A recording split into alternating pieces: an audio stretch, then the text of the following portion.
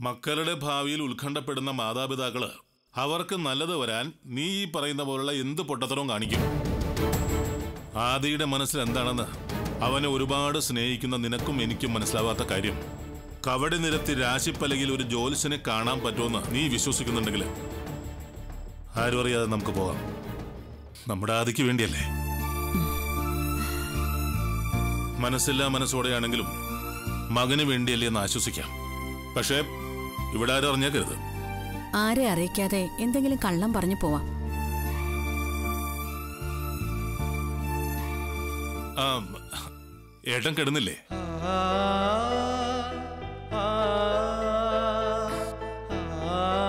സ്വാതിയുടെ കാര്യം സംസാരിച്ചിരിക്കുകയായിരുന്നു. ഞങ്ങളിവിടെ ആദിയുടെ കാര്യവും. അവളെ ഇന്ന് ആരുടെയോ കൂടെ ബൈക്ക് കണ്ടെന്ന് അറിഞ്ഞതു മുതൽ മനസ്സൊരു വിശ്രമവും ഇല്ലാണ്ട് പലതും ചിന്തിച്ചുകൊണ്ടിരിക്കുക ആരുടെ കൂടെ അവൾ പോയെന്ന് അറിഞ്ഞാൽ മതിയായിരുന്നു. നമ്മുടെ മക്കൾ വഴിവിട്ട് നടക്കില്ല എന്ന് എനിക്ക് ഉറപ്പുണ്ട്. എന്നാലും അതാരാണെന്നറിഞ്ഞ ഒരു സമാധാനമായിരുന്നു. അവളങ്ങനെ ആരുമായിട്ടും ഫ്രണ്ട്ഷിപ്പ് വെക്കാത്തതല്ലേ? അതുകൊണ്ട് എന്തോ ഒരു പ്രതീക്ഷ. അവൾക്കൊരു ദാമ്പത്യം ഉണ്ടാകുമെന്നൊരു തോന്നൽ. പക്ഷെ അതാരാണെന്നറിയുന്നത് വരെ നമ്മുടെ സംശയം തീരില്ലല്ലോ. ഇനി അവൾ ഇഷ്ടപ്പെടുന്ന ആളാണെങ്കിൽ നമുക്ക് അന്വേഷിച്ച് കല്യാണം കഴിച്ചു കൊടുക്കാമല്ലോ. അവൾ ആരുടെങ്കിലും കൂടെ ജീവിക്കുന്നത് കാണാൻ അത്രയ്ക്ക് കൊതിയുണ്ട് ബാല.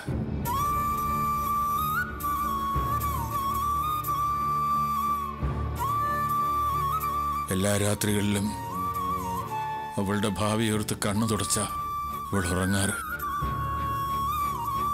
ഞാനും.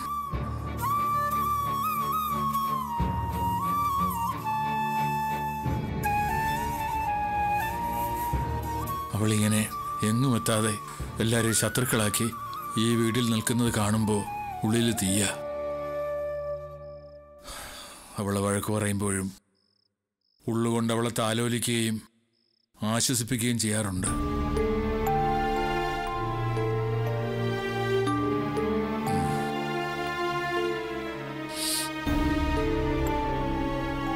വല നീയും വാസന്തിയും കൂടി സ്വാതിമോളോടൊന്ന് സംസാരിക്കുക അതാരാണെന്ന് സ്നേഹത്തോടെ ചോദിച്ച് മനസ്സിലാക്കുക ചോദിക്കേട്ടാ. ഇപ്പൊ തന്നെ ചെന്ന് ചോദിക്കേ. അതാരാണെന്നറിഞ്ഞ ഏട്ടന്റെ മനസ്സിനൊരു ആശ്വാസമാവും രണ്ടുപേരും കൂടി ചെല്ലേ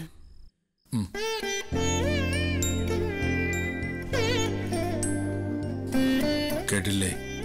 വീണ വായിക്കുക. ഉറങ്ങിയിട്ടില്ല.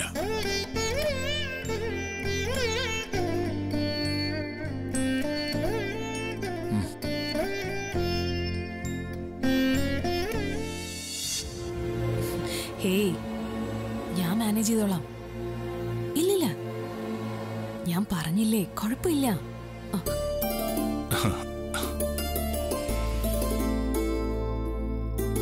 ഉം, ഞാൻ വിളിക്കാം.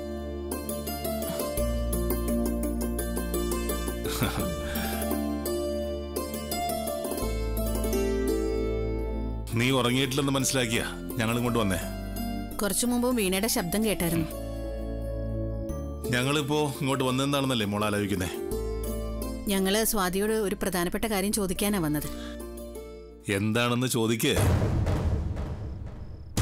എന്തിനാ ബാലേട്ട അവളെ കൊണ്ട് ചോദിപ്പിക്കുന്നത്? ബാലേട്ടൻ അങ്ങ് ചോദിച്ചാ പോരെ? ചോദിക്കാൻ പോകുന്നത് എന്താന്ന് എനിക്കറിയാം. ഞാൻ ആരുടെ കൂടെയാണ് ഇന്ന് ബൈക്കിൽ യാത്ര ചെയ്തത്? അതല്ലേ അറിയേണ്ടത്?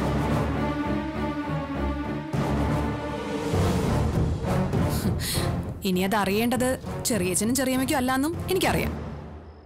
അത് ചോദിച്ചു മനസ്സിലാക്കാൻ അച്ഛനും അമ്മയും രണ്ടുപേരെയും ഇങ്ങോട്ട് പറഞ്ഞയച്ചതല്ലേ?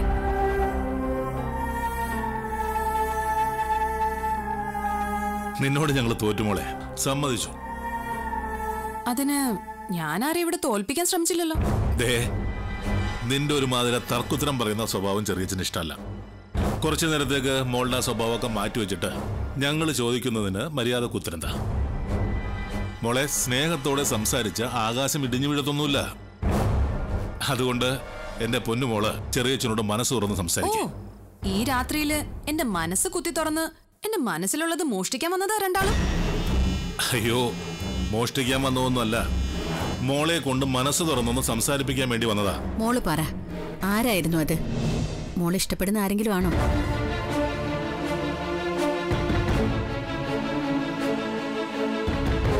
എന്താണെങ്കിലും ഞങ്ങളോട് തുറന്നു പറഞ്ഞു.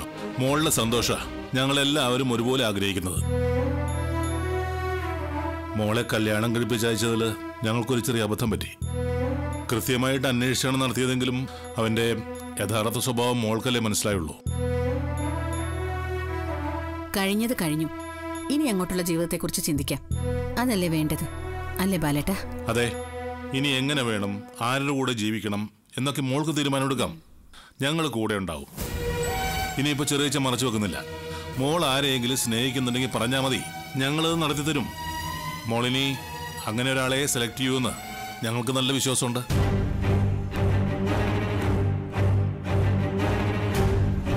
അങ്ങനെ ഒരാളുടെ കൂടെ ആയിരുന്നോ മോളിന്ന് ബൈക്കിൽ പോയത്?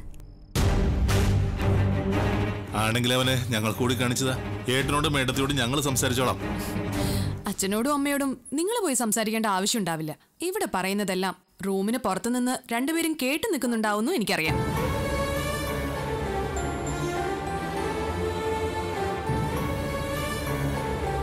അച്ഛനും അമ്മയല്ലേ? മകളുടെ കാര്യത്തിൽ വേവലാതി ഉണ്ടാവും. ഒരിക്കൽ ആർഭാടമാക്കി ഒരുത്തന്റെ തലയെ കെട്ടിവെച്ചു. അത് കെട്ടഴിഞ്ഞ് താഴെ പോന്നു. വീണ്ടും ആരുടെയെങ്കിലും തലയെ കെട്ടിവെക്കുന്നവരെ അച്ഛനും അമ്മയ്ക്ക് സമാധാനം ഉണ്ടാവില്ല. ഞാൻ ഈ വീട്ടിനുള്ളിൽ പാല പോയ ചെകുത്താനെ പോലെ അലഞ്ഞു നടക്കുന്നതിൽ ചെറിയച്ഛനും ചെറിയമ്മയ്ക്കും വിഷമം ഉണ്ടാവും എനിക്കറിയാം. ഈ ഗതി കിട്ടാത്ത പിശാചിനെ എവിടെയെങ്കിലും തളയ്ക്കുന്നത് വരെ കൗസ്തുഭത്തിൽ ആർക്കും മനസമാധാനം ഉണ്ടാവില്ലെന്നും എനിക്കറിയാം. മോളെന്താ ഇങ്ങനെയൊക്കെ പറയുന്നേ? എനിക്ക് എന്നെ പറ്റി ഇങ്ങനെയൊക്കെ പറയാനേ അറിയൂ ചെറിയച്ച അപ്പോ മോൾ ചെറിയച്ചനോടൊന്നും വിട്ടു പറയില്ല അല്ലേ? കൗസ്തുഭത്തിൽ ആരും മനസ്സിലെന്തെങ്കിലും മറച്ചു വെച്ച് നടക്കാറില്ല. എന്തുണ്ടെങ്കിലും പരസ്പരം പറയാറുണ്ട്. അത് നിങ്ങളൊക്കെ അല്ലേ പക്ഷേ കൗസ്തുഭത്തിലെ ഇപ്പോഴത്തെ ആ പുതിയ ജനറേഷൻ ഒരുപാട് രഹസ്യങ്ങൾ കൊണ്ട് നടക്കുന്നവരാ. ആദിയേട്ടനായാലും റാണിയായാലും ഞാനായാലും എന്തിന്? എങ്ങു നിന്നോ വന്ന കസ്തൂരി പോലും വൻ രഹസ്യങ്ങൾ മനസ്സിൽ കൊണ്ട് നടക്കുന്നവരാ. ശുദ്ധാത്മാക്കളായ നിങ്ങൾ എത്ര ശ്രമിച്ചാലും അതൊന്നും മനസ്സിലാക്കിയെടുക്കാനാവില്ല.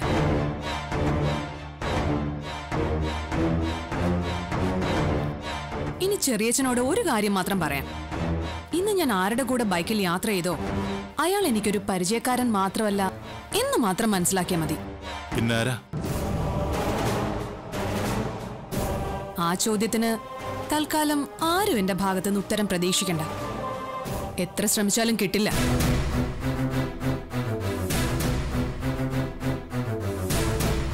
അതിനാരും ഉറക്കമൊഴിഞ്ഞു കാത്തിരിക്കുകയും വേണ്ട. സ്വാതി പറയില്ല.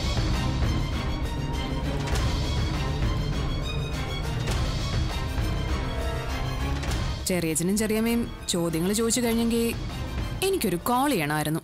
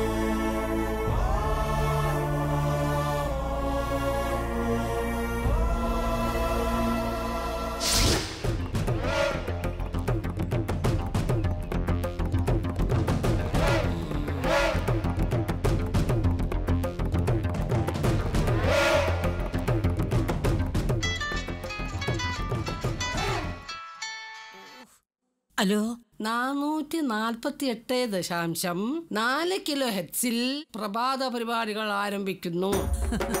ഓ ആകാശവാണിയിൽ നിന്ന് സരോജിനി ആണല്ലോ ആകാശവാണി. വാർത്തകൾ വായിക്കുന്നത് സരോജിനി. ആ വരട്ടെ വരട്ടെ. ഇന്നത്തെ പ്രധാന വാർത്തകൾ. കേക്കട്ടെ പെട്ടെന്ന് പറ. കൗസ്തുഭം ജ്യോത്സ്യനെ തേടി. എന്താ? കൗസ്തുഭത്തിൽ ബാലാനന്ദനും ഭാര്യ വാസന്തിയും മകൻ ആദിത്യന്റെ ജാതകവുമായി ജ്യോത്സ്യനെ കാണാൻ തീരുമാനിച്ചു. അതീവ രഹസ്യമായി ആരും അറിയാതെ ജ്യോത്സ്യനെ കാണാനാണ് അവരുടെ പരിപാടി. എന്താ കാര്യം? മകന് കണ്ടകശനിയാണോ? മകന്റെ ഭാര്യയ്ക്ക് ഏഴിൽ ചൊവ്വയാണോ എന്ന സംശയത്തിലാണ് ആദിത്യന്റെ അച്ഛനും അമ്മയും. അപ്പോ ആദി കൂട്ടുകെട്ട് തകർച്ചയിലേക്ക്. മകനും ഭാര്യയും തമ്മിൽ അടിക്കടി ഉണ്ടാവുന്ന വഴക്കും വക്കാണവുമാണ് രണ്ടുപേരെ കൊണ്ട് ഇങ്ങനെയൊക്കെ ചിന്തിപ്പിച്ചത്. ഏത് ജോത്സരിയാ കാണാൻ പോകുന്നത്? അവരുടെ യാത്ര അതീവ രഹസ്യമാണ്.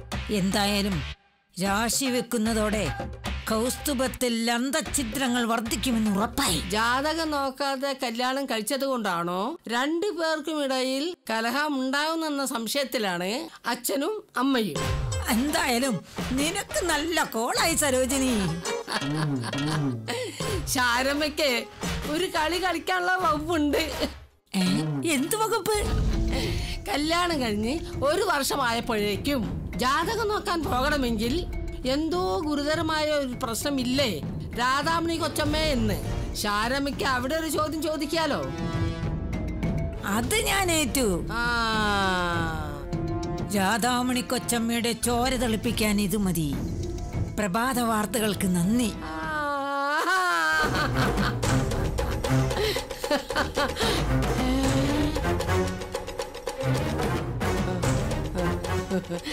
ഞാൻ പിന്നെ വിളിക്കാം. ശരി.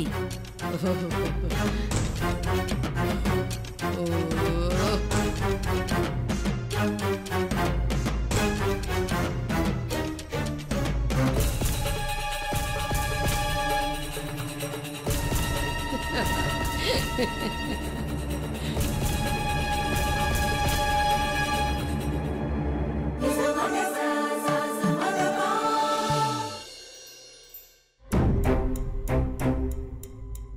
റാണിമോളെ സ്വാതിയുടെ കൂടെ പോയ ആളെ മോൾ ശരിക്കും ശ്രദ്ധിച്ചു. വല്യമേനി അതേപ്പറ്റി ഒന്നും ചോദിക്കരുത്. ഇന്നലെ അറിയാതെ പറഞ്ഞു പോയതാ. അതിന് സ്വാതിയുടെ വഴക്കം കേട്ടു. അവളുടെ സ്വഭാവം മോൾക്കറിയില്ലേ? മോൾ ആളെ കണ്ടിരുന്നു. ബൈക്കിൽ പോകുന്നതല്ലേ കണ്ടത്? ഹെൽമെറ്റ് ഇട്ടതുകൊണ്ട് മുഖവും കാണാൻ പറ്റിയില്ല. അവൾ അങ്ങനെ ആരുടെയും ബൈക്കിലൊന്നും പോവില്ല. ആശ്രയിക്കാൻ നിൽക്കാത്തവളാ അതുകൊണ്ടാ മോളെ ഒരു സംശയം. അവൾ അങ്ങനെ ഒരാളുടെ ബൈക്കിൽ പോണമെങ്കിൽ അയാളെ അവൾ അത്രയ്ക്ക് ഇഷ്ടപ്പെടണം. ഈശ്വര അവരാണല്ലോ. ആരാ മോളെ? എന്റെ ഫ്രണ്ട്സാ. എങ്കിൽ മോൾ ഫോൺ എടുക്ക്. അവർ ആദ്യം കാണാൻ ഇങ്ങോട്ട് വരാൻ വേണ്ടിയാ വിളിക്കുന്നേ. ആദ്യം ഇവിടെ ഉണ്ടല്ലോ. മോൾ ഫോൺ എടുക്ക്. ഹലോ ആ ആദ്യം ഇവിടെ ഉണ്ട് ഞാൻ ഇന്നലെ ചോദിക്കാൻ മറന്നു. ഇപ്പൊ ചോദിച്ചിട്ട് ഞാൻ അങ്ങോട്ട് വിളിക്കാം. എന്നിട്ട് പുറപ്പെട്ടാ മതി. ആ ഇപ്പൊ തിരിച്ചു വിളിക്കാം. കൂട്ടുകാരികൾ വരുന്നുണ്ടോ? അവർ വരാൻ റെഡിയായിട്ട് നിൽക്കുക അവർ വരുമ്പോ ആദ്യം ഇവിടെ ഉണ്ടാവുമെന്ന് ആർക്കറിയാം. ആദ്യം ഇവിടെ ഉണ്ടാവില്ലെന്ന് പറഞ്ഞേക്കാം. വിളിച്ചു പറയുന്നതിന് മുൻപ് ആദ്യോടൊന്ന് ചോദിച്ചു നോക്ക്. ആദ്യോട് ചോദിച്ച നോ പറയും. എന്നാലും ഒന്ന് ചോദിച്ചു നോക്ക്. അവൻ എങ്ങും പോകുന്നില്ലെങ്കിലോ? ചോദിക്കും മോളെ.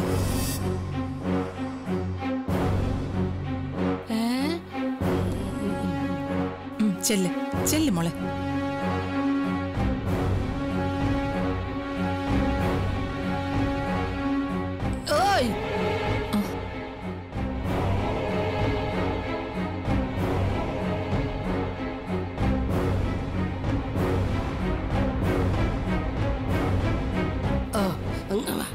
ചന്ദ്രമതി കൊച്ചമ്മയോട് എനിക്ക് സ്വകാര്യം പറയാനുണ്ട്. നിങ്ങളുടെ സ്വകാര്യമൊന്നും എനിക്ക് കേൾക്കണ്ട. കേട്ടെടുത്തോളം ഞാൻ അനുഭവിച്ചിട്ടുണ്ട് ആദ്യം ഞാൻ പറയുന്നൊന്ന് കേട്ടു നോക്ക്. നല്ല കാര്യമാണെങ്കിൽ എനിക്ക് കൈ തന്നാ മതി. ആ കേട്ടു നോക്ക്.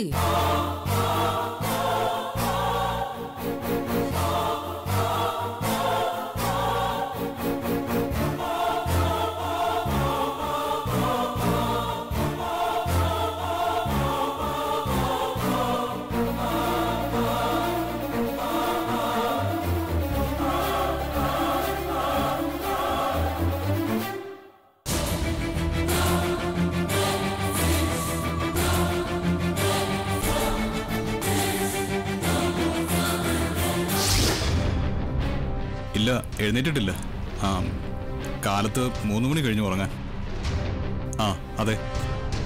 ആ ഇല്ല ഞാൻ ഉച്ചയ്ക്ക് ശേഷം വീട്ടിൽ നിന്ന് ഇറങ്ങും. ആ വേ വേണ്ട. ഞാൻ ഓഫീസിൽ വരും. വൈകിട്ട് കാണാം. ഓക്കെ? ആദി ഉച്ചവരെ വീട്ടിലുണ്ടാവോ? ആ വീട്ടിലുണ്ടാവും. പക്ഷേ ഫ്രീ അല്ല ഓ ഫ്രീ ആവില്ലേ ഇന്ന് ഉച്ചവരെ ബിസിയാ. എഴുതാനുണ്ടോ? ഏയ്.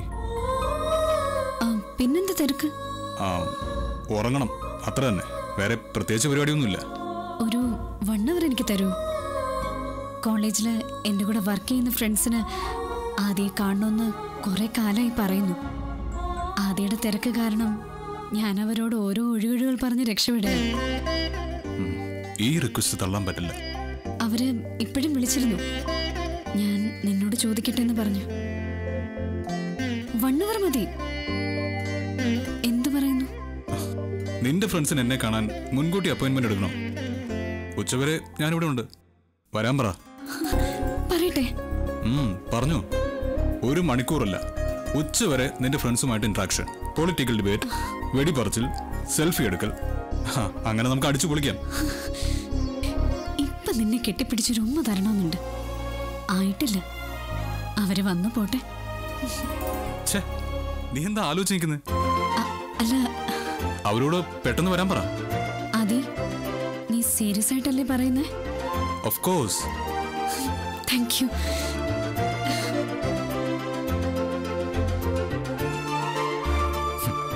ഞാൻ അവളുടെ ഫ്രണ്ട്സിന് വേണ്ടി കാത്തിരിക്കാന്ന് പറഞ്ഞപ്പോ എന്റെ റാണിയുടെ മുഖത്ത് എത്ര പെട്ടെന്ന് സന്തോഷം നിറഞ്ഞത്. ഇത്രയുള്ളൂ അവളുടെ കാര്യം.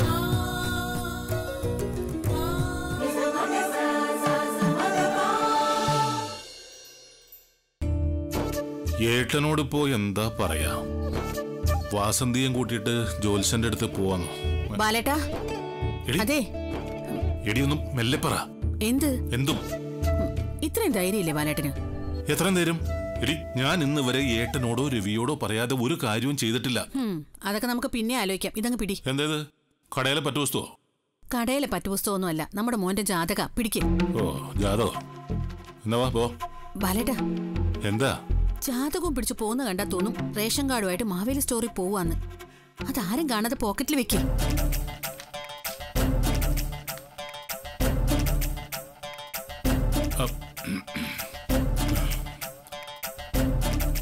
ഏട്ടന്റെ മുഖത്തെന്താ ഒരു കള്ളലക്ഷണം. കള്ളനോ? ഞാനോ? ഞാൻ എന്തെങ്കിലും മോഷിച്ചിട്ടുണ്ടോടാ എന്റെ മുഖത്ത് നോക്കി കള്ളാന്ന് വിളിക്കാൻ നിനക്ക് എങ്ങനെയാണ് ധൈര്യം വന്നേ? അതിന് ഞാൻ കള്ളാന്ന് വിളിച്ചില്ലല്ലോ. വിളിച്ചില്ലേ? വിളിച്ചു. എന്റെ മുഖത്ത് കള്ളലക്ഷണം കണ്ടു എന്ന് പറഞ്ഞാ അതിന്റെ അർത്ഥം ഞാൻ കള്ളനാണെന്നല്ലേ? ബാലേട്ട ഞാനൊരു തമാശ പറഞ്ഞതല്ലേ? ഇതാണോ തമാശ? നിന്റെ ഏട്ടന്റെ മുഖത്ത് നോക്കി കള്ളാന്ന് വിളിച്ചിട്ട് ഇപ്പൊ തമാശക്കാണെന്നോ. എന്റെ മുഖത്തല്ല കള്ളലക്ഷണം. നിന്റെ മുഖത്താ? ആ ആ. ബാലേട്ടെന്താ ഒരു ബന്ധമില്ലാതെ വർത്താനം പറയുന്നേ? ഏട്ടത്തി നിങ്ങൾ രണ്ടുപേരും കൂടെ എങ്ങോട്ടാ? ഞങ്ങളൊന്ന് സിറ്റി വരെ പോവാ. എന്തിന്? അത് പിന്നെ ഒരാളെ കാണാൻ പോവാ. ആരെ കാണാൻ? അത് പറയാൻ പറ്റില്ലേ? ആരാ എടുത്തി അത് എടേക്കണ്ടി കുട്ടിക്കയ്യനെ. എടേക്കണ്ടി കുട്ടിക്കയ്യനോ? അതാരാ? അത് ഇവളുടെ വകയിലൊരു അമ്മാവനാ ഇവൾ ഇന്നലെ രാത്രി ഒരു സ്വപ്നം കണ്ടു. അപ്പൊ തുടങ്ങിയതാ. അമ്മാവനെ കാണണം അമ്മാവനെ കാണണം എന്ന് പറഞ്ഞുണ്ട് ഞാനിപ്പോ കാണിച്ചു കൊടുക്കാന്ന് വിചാരിച്ചു. അങ്ങനെ ഒരു അമ്മാവനെ കുറിച്ച് കേട്ടിട്ടില്ലല്ലോ. ആ, ആ, ഈ ലോകത്തുള്ള അമ്മാവന്മാരെ മുഴുവൻ നിനക്കറിയോ? പിന്നെ എടത്തി അമ്മാവിന്റെ പേരെന്താന്നാ പറഞ്ഞേ? ആ ആ, അത് ഉം, എന്തിനാ എന്നെ നോക്കുന്നേ? അമ്മാവന്റെ പേര് പറഞ്ഞു കൊടുക്ക്. ഞാനിപ്പോ പറഞ്ഞല്ലോ ഉള്ളൂ ഏട്ടൻ ഒരിക്കൽ കൂടിയ ആ പേര് പറയാൻ പറ്റുമോ നീ എന്നെ കൊണ്ട് പറയിപ്പിക്കാതെ ഹോസ്പിറ്റലിൽ പോകുന്ന നോക്കടാ. രോഗികളെല്ലാം കാത്തിരിക്കുക അവിടെ. ഡോക്ടറാണ് പോലും. ഒരു ഉത്തരവാദിത്വം ഇല്ലാത്തൊരു ഡോക്ടർ. മല്ലി ഇവനെ ഹോസ്പിറ്റലിൽ പറഞ്ഞോളാം നോക്ക് അല്ലെങ്കിലും എനിക്ക് നിൽക്കാൻ സമയമില്ല. സമയം ഉണ്ടായിരുന്നെങ്കിൽ. ഉണ്ടായിരുന്നെങ്കിൽ? എന്റെ പൊന്നു ബാലേട്ടാ ഈ എടയക്കണ്ടി കുട്ടിക്കയ്യനെ ഞാൻ നിങ്ങളുടെ മുന്നിൽ കൊണ്ടുവന്ന് നിർത്തുമായിരുന്നു. അതാ ഈ ഇടയക്കണ്ടി ആ. ആരായിട്ടെത്തി എന്റെ അമ്മാവനാ. ഇരുപത്തിനാല് മണിക്കൂറിനുള്ളിൽ ഈ കള്ളക്കളി ഞാൻ വെളിച്ചത്ത് കൊണ്ടുവരും. ഇറങ്ങട്ടെ ഏട്ടാ എന്നാൽ. ഏ? വാടി. ഒരു എടേക്കണ്ടി കുട്ടിക്കയ്യൻ എവിടെ കിട്ടിയതായി പേര്? രവിക്കും മാലിനിക്കും നല്ല സംശയം തോന്നിയിരുന്നല്ലേ? സംശയിക്കാതിരിക്കോ. എന്നെ കണ്ട കിണ്ണം കെട്ടവനാണെന്നുള്ള ഭാവത്തിലല്ലേ പെരുമാറ്റം? ഇനിയിപ്പോ ഉമ്രത്തിരിക്കുന്ന ഏട്ടനോട് എന്ത് കള്ളം പറയുമോ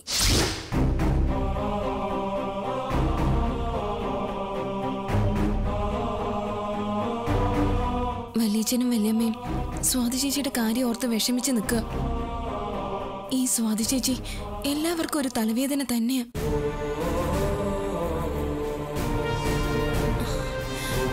നീ എന്താ അവിടെ നിന്നത്?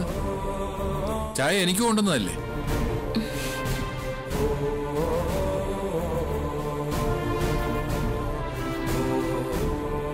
ഞാൻ വിചാരിച്ചു വല്യച്ഛനും വല്യമ്മയും വളരെ സീരിയസ് ആയിട്ട് എന്തോ പറഞ്ഞുകൊണ്ട് നിൽക്കാന്ന് സീരിയസ് ആയ കാര്യം തന്നെയാ സംസാരിച്ചുകൊണ്ടിരിക്കുന്നത് എനിക്കറിയാം എന്തായിരുന്നു എന്ന് സ്വാതി ചേച്ചി ഇന്നലെ ആരുടെ കൂടെ പോയിന്നല്ലേ രണ്ടാളും ചിന്തിക്കുന്നത്? അതെ. അതറിയാൻ എന്താ വഴി? എന്റെ മുന്നിൽ ഒരു വഴിയുമില്ല. നീയും സ്വാതിയും ഇപ്പൊ വലിയ സ്നേഹത്തിലാണല്ലോ. നിനക്ക് അവളോടൊന്ന് ചോദിച്ചുകൂടെ